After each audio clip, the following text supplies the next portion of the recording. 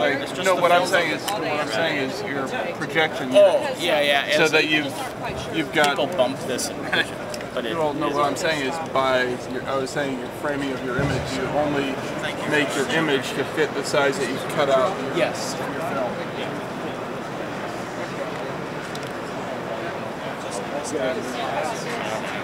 Project front door back. Doesn't matter. Uh, it's meant for rear projection. That's The special film, it's glass beaded film. It sucks the light in and shoots it out the front and rejects the ambient light trying to get through there. So that's why it looks good in uh, high light conditions. Yeah. I'm wondering how well that would work for like this home projection system. Very nice if you have the room. There's a, there's a company in California Start about Because what the thing that's impressive to me From